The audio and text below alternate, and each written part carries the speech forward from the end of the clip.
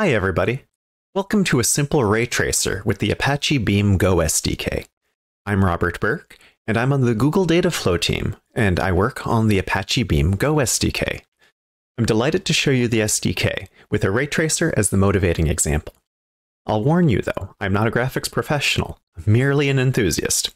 You'll see why I say that in a moment. Let's go over what I hope you get out of this talk. First, I hope you come away with a light understanding of how ray tracers work. Second, I hope you see how easy it is to write one with the Beam Go SDK. Third, I'm going to show you how to divide the work of ray tracing using a splittable DoFn.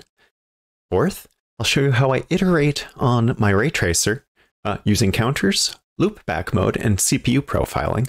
And finally, a little bit of proof that it works on a distributed runner like Google Cloud Dataflow. But remember, Google Cloud Dataflow doesn't currently support the Go SDK, so disclaimer. Um, thank you for bearing with this grab bag of topics, but it's a lot to cover, so let's get started.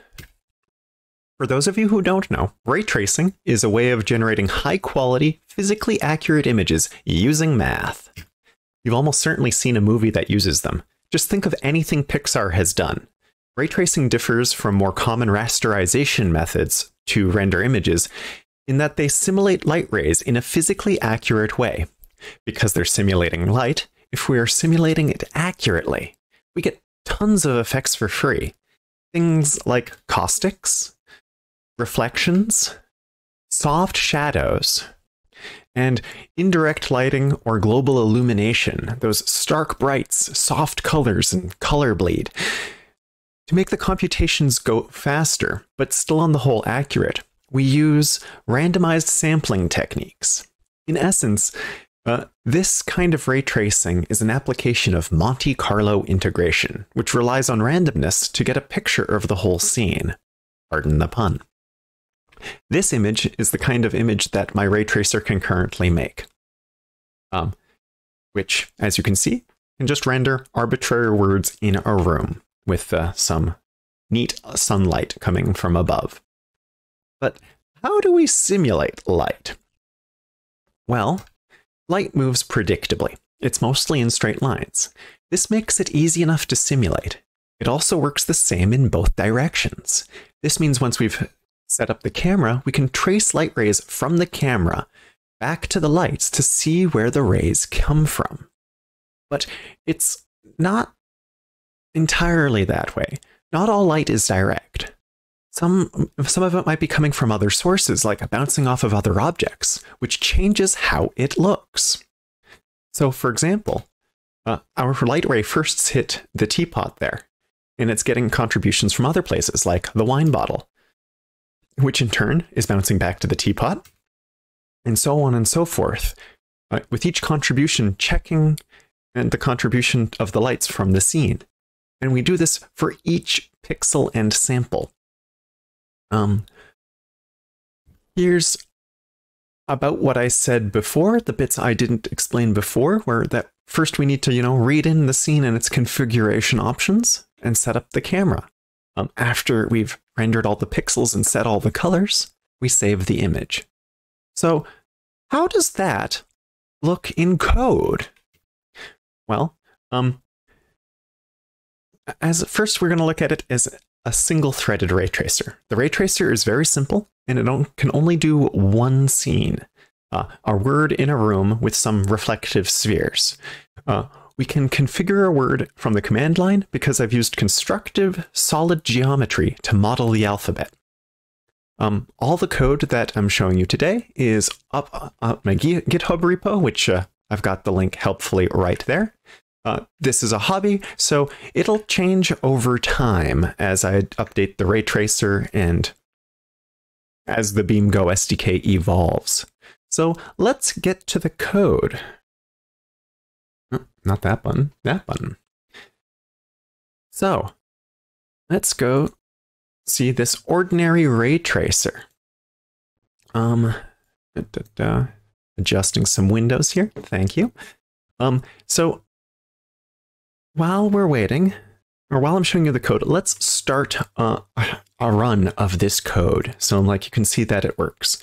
Uh, we can see how far it's getting done because I have this little mark progress helper method that is going to print things out based on uh, percentages of the number of pixels completed. So you can follow that down here. Um, but otherwise, as I said, we get our image configuration, our origin, our camera origin, and then we build the scene based on whatever word that we're doing. In this case, I'm using the word word. Uh, we initialize that scene properly so that everything is ready to go. But otherwise, we then create an image and start going pixel by pixel. And then for each pixel, we cast whatever number of samples we're making rays. For example, here, we're going to go ahead and do that 16 times per pixel. Uh, each pixel uh, gets a ray with a little bit of randomness associated with it. And then we just trace that ray through the scene up to the number of bounces, which in this case is five. When we're done, we add the result to our accumulated color. And once we've got all the samples, we map the color back to a reasonable color space. Uh, this, in this case, is called using Reinhard tone mapping. Once we have the fully accumulated color, we do one last mapping uh, to get it back down to um, a 32-bit color and set the pixel to that color. And that's when we uh, mark our progress. Oh, look, we're already around 15% done. Um, after every pixel is done, we uh, save uh, the image to wherever we've decided. Uh, technically, this implementation is a path tracer. Uh, the difference between a path tracer and a ray tracer, though, is kind of subtle. Uh, the difference is that all the rays that in a path tracer are sourced from the eye, and then they just go through their series of bounces. Unlike the little pictures I showed you before, uh, we're not casting additional rays at each bounce. Instead, we can go through, trace, find an intersection, uh, in this case using a ray marching algorithm, and then we handle whatever bounce is happening with the material here. And then we recurse as or loop up until uh, the bounce limit. Right there. Um, yeah, uh, pretty much the same thing. Just everything, uh, there's a lot more repeated work. We could make things a little faster by avoiding it, but doing things this way uh, makes it easier to scale later on. Uh, the important thing is that we are taking a certain number of samples per pixel. As for writing the file, because some of you might be interested in that, uh, we create a file. I've got uh, Beam provides a file system abstraction here. Uh, to just, we take the file, we open the actual file that we want for writing, we write the image, in this case PNG encoded, and then we just flush the buffers and close things out. Huh? Pretty straightforward. So how does this change thing change when you turn it into a beam pipeline? Well, let's take a look at it. Like ordinary tracer, we have beam tracer with the same set of arguments. And, oh, right, that's the output directory. Uh, same set of arguments. Uh, we generate the rays, we trace our pixels, and then we combine everything at the end. Uh, eventually, we write things out. So it's about the same, except there's no big for loop over it.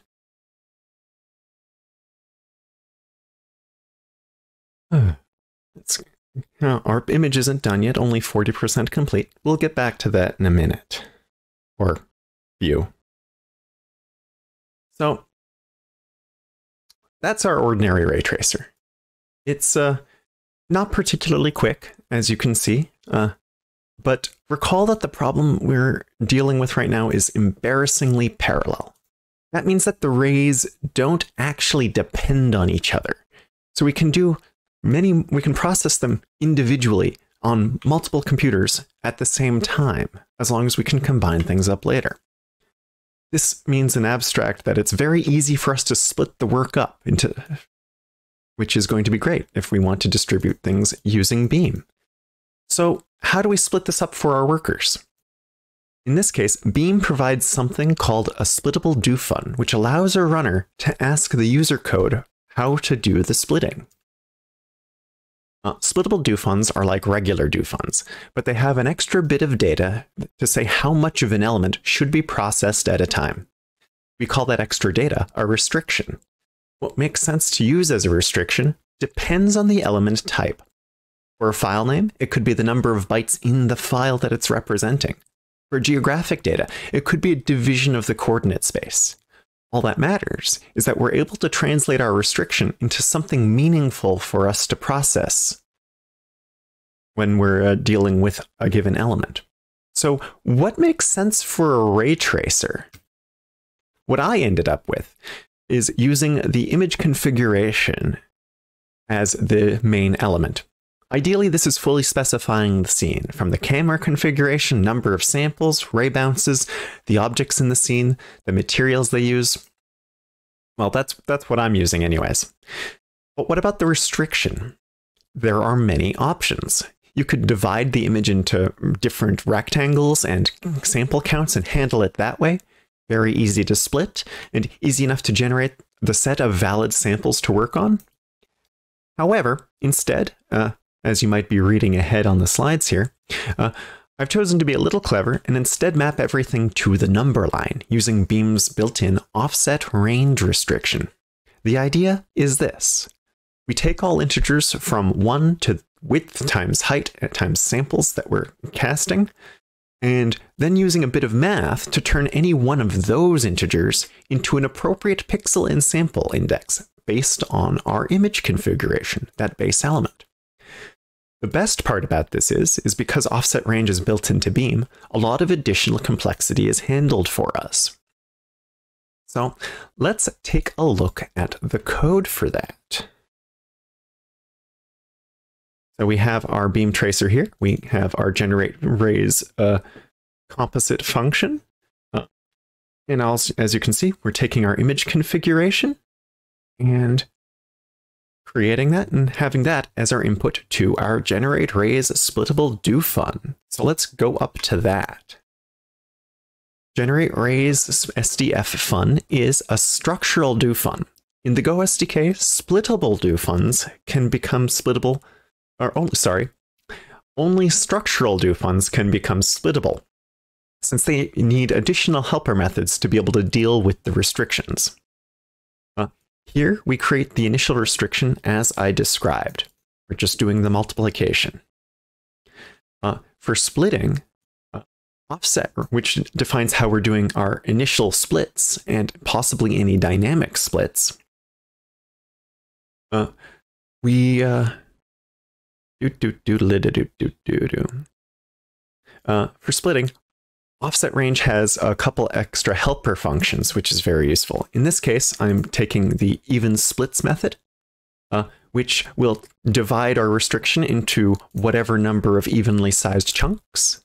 There's also a sized restriction, or sized set of splits, which will split things based on whatever set of size. So if you want things that only have 64 units each, it will generate, it will divide everything by 64. So you have that many uh, splits, which is very nice.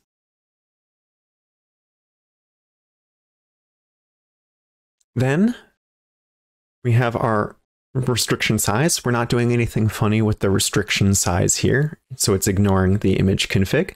Uh, it's just however many indices that the restriction has. Uh, here, we wrap our restrictions in a restriction tracker or an R tracker. Offset range comes with its own tracker, and but it's not concurrency safe. So we built something to make it easy to, enough to wrap uh, something conforming to the tracker, in, or yeah, the R tracker interface, uh, and make it concurrency safe.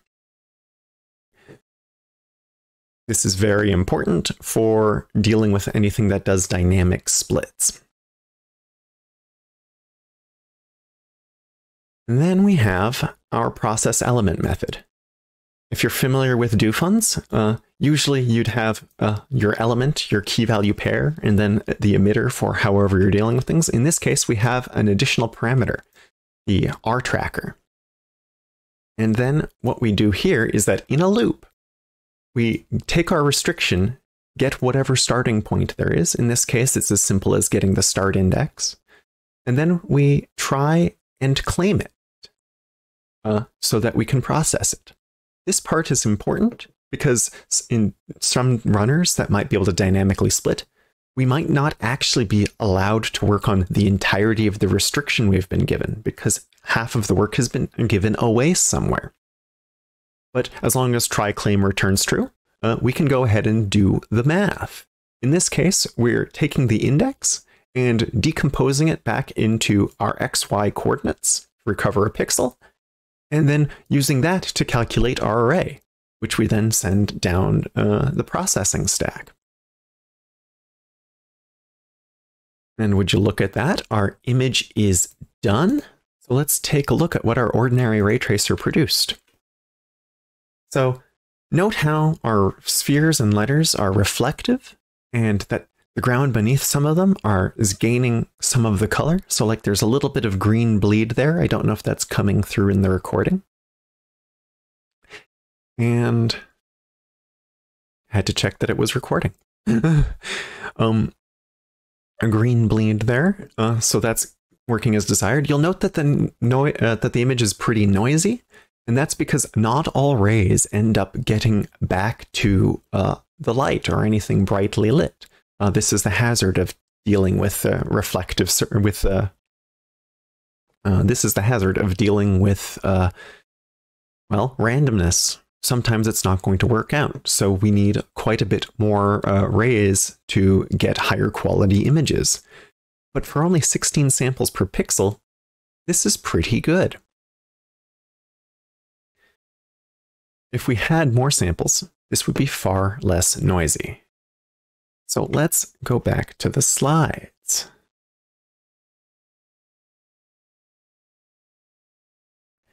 So, what's stopping us from scaling?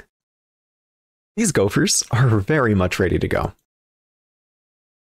But first, there's a problem we need to address with, respect, with, with respect to scale. The problem comes with how we group our arrays after we've accumulated them out. So this isn't exactly what we're doing in my ray tracer right now, uh, but say this is our array object. It specifies where it's coming from, uh, what direction it's going, and what color it's currently got, as well as what pixel it's uh, being attached to, and the IDs of these the bounces and such. This is so that we can actually properly accumulate everything back to uh, the right amount into the pixel when combining everything. Um, but the important thing is that this is about 88 bytes large if we're not encoding it more compactly. So what would happen if we were trying to group all the samples from all the bounces together? And remember, we're doing this for all the bounces. This can add up. So for an 8 megapixel image, and if we were taking 4K samples each for each pixel, and we had to store all 88 bytes for our arrays each time, that would end up with 3 terabytes of data.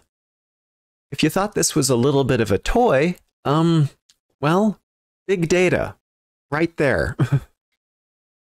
this is fine though. This is totally fine. Three terabytes is nothing. It's not a big deal. The way I'm generating my arrays in my pipeline ensures that samples for a given pixel are contiguous. This means that they're all adjacent together on the number line. And because we're splitting in such large blocks, if there are millions upon millions of pixels, and we're only starting with a thousand uh, restrictions at a time, statistically, a lot of pixels are going to be within those bundles. This gives us a huge opportunity uh, for the beam, uh, the beam optimization called combiner lifting, which will shrink the data down to a pixel and a color before it even gets to the grouping operations. Very nice. Uh, this is a lot of words to say that if you can make sure all your values for a key are on the same worker before a group by key, you should do it. Uh, it's a way more efficient. Op- it's it's way more efficient to do because there's less work in serializing and storing the data during grouping. So, how can you be sure that that's working as intended? Well, that brings us to our next section. Debugging BeamGo pipelines. And specifically, doing so locally.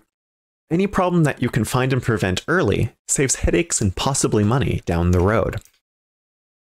So, even with the nearly out of experimental Go SDK, hopefully version 33, 2.33, uh, there are many options for local debugging. First is unit testing your code in the facilities of the SDK language. Just because you're using Beam doesn't mean you have to use Beam everywhere. Code is code, just test it. Go is pretty good about this, with its tight integration between tools and the testing package, and overall idioms for testing.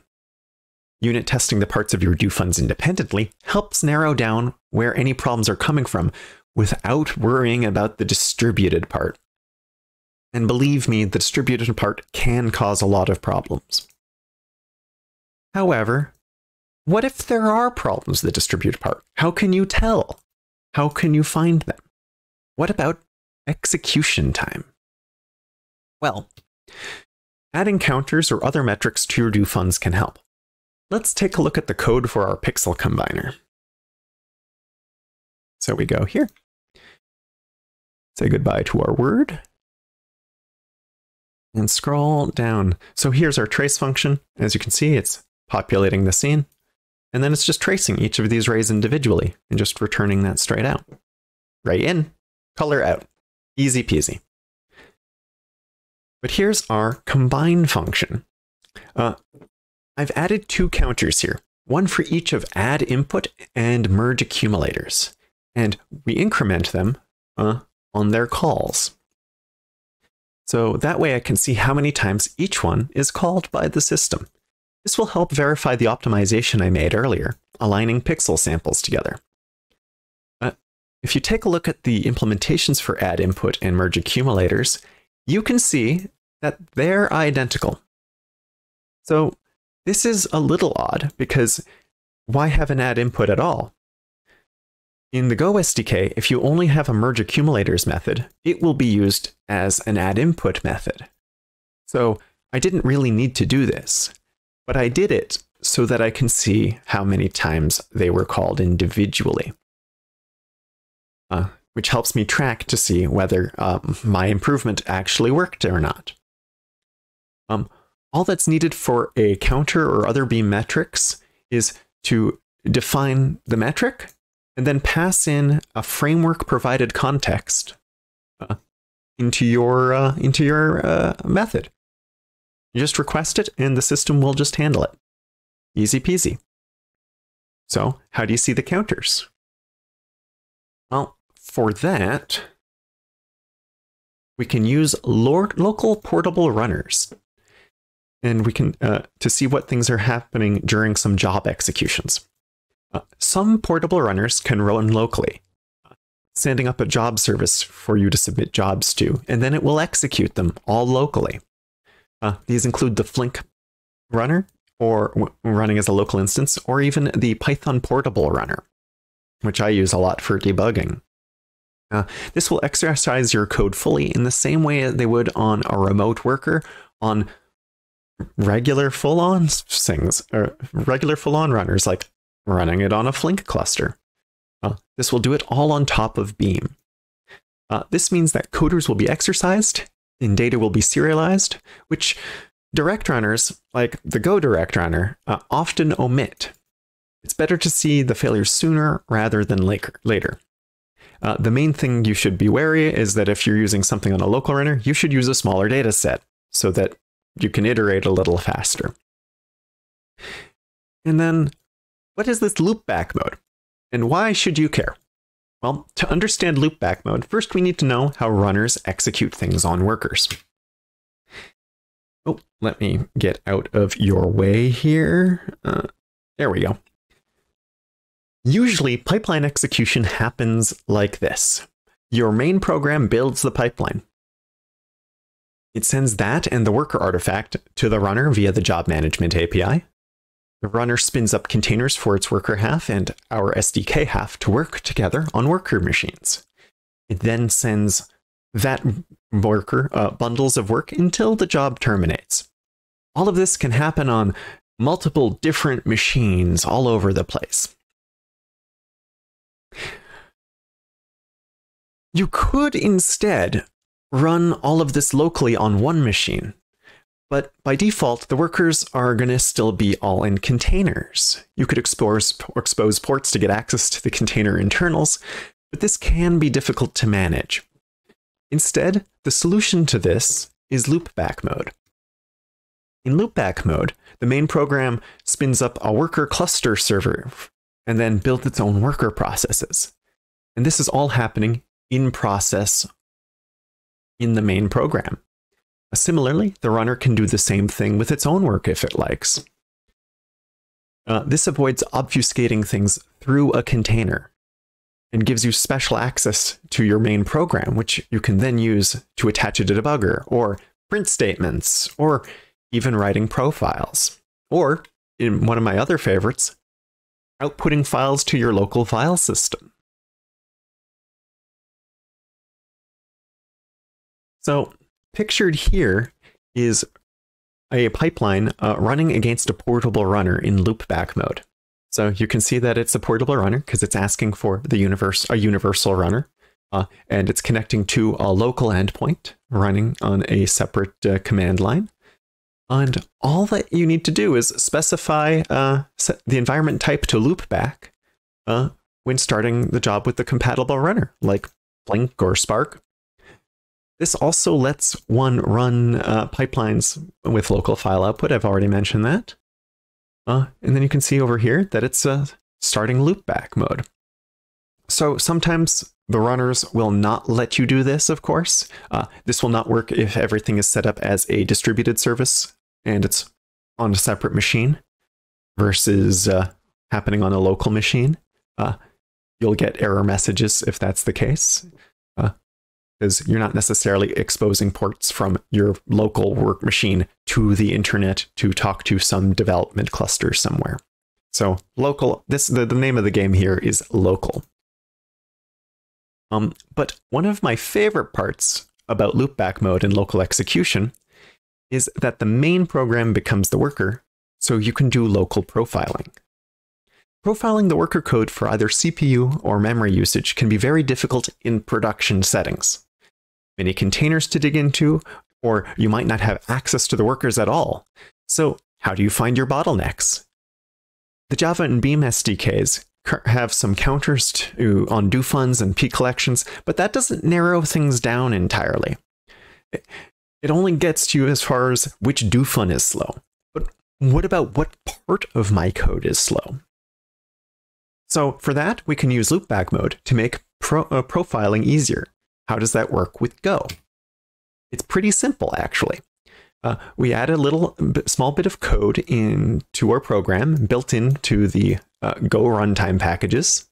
Uh, then execute loopback mode to get our uh, our profile file, and then once we, then once we have, uh, we can make sure we have pprof and graphviz installed.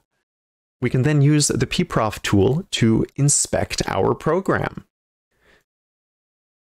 So let me show you the code where that is happening. Code. Here we're importing the pprof package.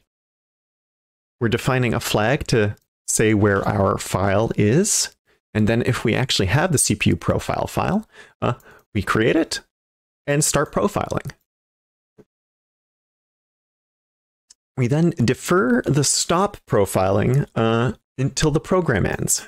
If you're less well versed in Go, defer is a Go keyword that delays execution of a function call until the current function scope ends. Uh, since this is the main, uh, it will uh, defer until right before uh, this uh, this curly brace here, when the profile ends. Um, da, da, da, so let's see how that looks for something in the running with the Go Direct runner. So here's a, profile I've taken earlier. You can see that it executed things. You can see uh, our counter here, uh, pixel add input. It uh, counted uh, some 2 million odd uh, additions with no merges. Pretty neat. Single threaded because it's the direct runner. It will probably only ever do add inputs. Um, but if we go to our uh, website, web view here, we can see a live view of our profile. So this is the profile web view. Uh, it will uh, it shows pretty much what we expect that most of the time is spent in our trace function, about 80% of it, with only around 10 odd percent dealing with garbage collector.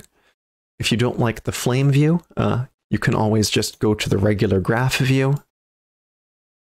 And you can see that it's uh, doing the same thing. A lot of our optimization could be happening in the query method for array marching.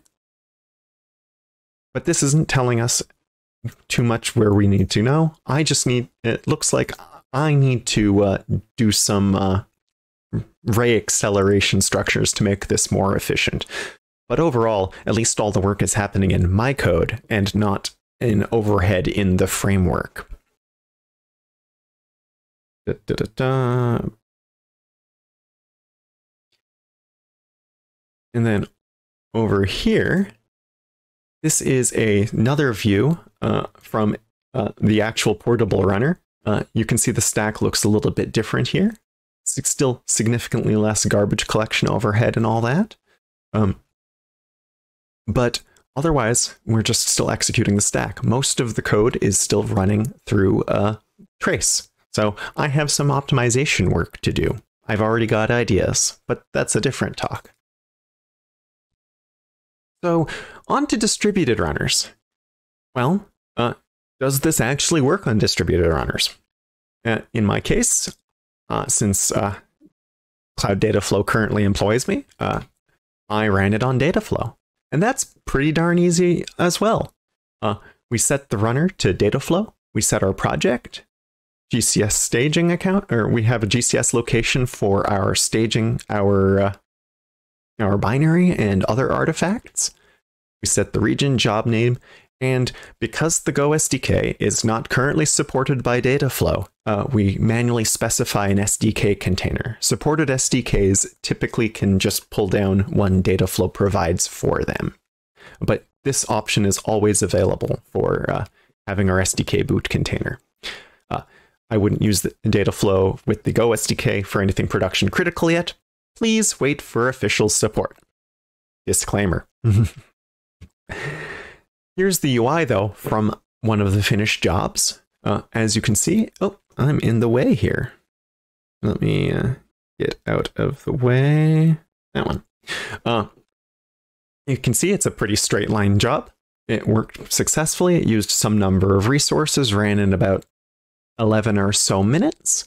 And it might be hard to see, but compared to the 132 million uh, add, uh, add input sweep called, uh, we ended up with uh, 74 uh, merges. So I would say my optimization worked just fine. Uh, we can then move off to some other things Dataflow tells us. We can see that it scaled up to 20 machines and took only 10 minutes to go through that. It wasn't a particularly large image, not that many samples. So how about a larger job where we ramped things up to a thousand samples per pixel? In this case, it went up to 77 workers. You'll have to uh, take uh, my word for that one. Uh, not too shabby. And if you look at the counters, 530 million uh, add input calls and only 400 merge pixel mergers. I'm pretty sure that this would work. As an aside, I uh, did a little back of the envelope math on how much this particular job would have cost if uh, I were footing the bill, and it would have been about $3. I could do, I can do a better. I can do better. I can make that cheaper.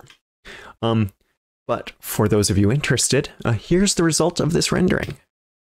Thank you. Uh, as you can see, significantly less noise with a lot more samples. But uh, this takes me to the end of the talk. Uh, special, uh, let's, oh, before I say the other thanks, uh, let's just go over the learning goals. I hope you got came away with a light understanding of ray tracers. I hope you see how easy it is to write one with the BeamGo SDK. Uh, third, you got to see how splittable DoFns can work with ray tracing. And you got to see how I iterate on the ray tracer using counters, loopback mode, and CPU profiling. And finally, you got a little bit of proof that it works on a distributed runner like Google Cloud Dataflow. Uh, special thanks to Fabien Sanglard's deconstruction of Andrew Kensler's path tracer on a postcard. That's right, most of that code was very, very dense C plus uh, C code written on the back of a postcard. Uh, without which I'd have based uh, my ray tracer on some other thing to translate it into Go. Um, thank you to the Beam Summit organizers, and special thanks to viewers like you. Uh, I've been Robert Burke, and this has been a simple ray tracer with the Apache Beam Go SDK. Have a great day. Cheers.